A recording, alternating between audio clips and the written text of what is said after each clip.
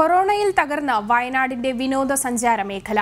കാർഷിക മേഖല കഴിഞ്ഞാൽ വയനാടിനെ പിടിച്ചു നിർത്തുന്നത് വിനോദസഞ്ചാര മേഖലയാണ്. കൊറോണയെ തുടർന്ന് എഴുന്നൂറ് കോടിയുടെ നഷ്ടമുണ്ടായെന്നാണ് വിനോദസഞ്ചാര വകുപ്പിന്റെ കണക്ക്. രണ്ടായിരത്തി പത്തൊമ്പതിലെ പ്രളയത്തിൽ മൺസൂൺ ടൂറിസം പൂർണമായും നഷ്ടപ്പെട്ടു. ഇതേൽപ്പിച്ച ആഘാതത്തിൽ നിന്നും കരകയറാനുള്ള ശ്രമങ്ങൾക്കിടയിലാണ് കൊറോണ എത്തിയത്.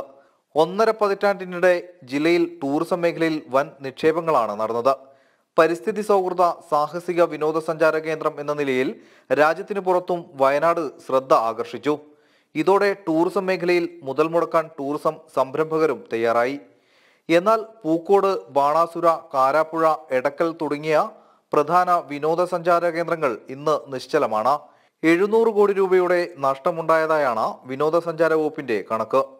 ഡി ടി പി സിയെ സംബന്ധിച്ചിടത്തോളം അവന്റെ ടിക്കറ്റ് വരുമാനം മറ്റ് തനത് വരുമാനം എന്നുള്ള നിലയിൽ ഒരു രണ്ട് രണ്ട് കോടിയോളം രൂപയുടെ നഷ്ടം അങ്ങനെ ഉണ്ടായിട്ടുണ്ട് ഇതിന്റെ ഒരു വ്യാപ്തി കണക്കാക്കുകയാണ് ഇതിനേക്കാളൊക്കെ വളരെ കൂടുതലായിരിക്കും.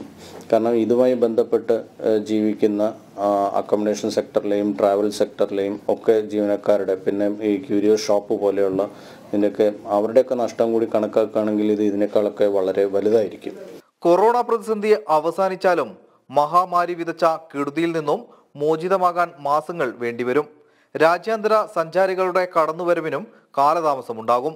സന്ദർശനങ്ങൾക്കായി സഞ്ചാരികൾ സുരക്ഷിത കേന്ദ്രം തിരഞ്ഞെടുക്കുന്നതും ടൂറിസം മേഖലയ്ക്ക് വെല്ലുവിളിയാണ്. ജനം വയനാട്.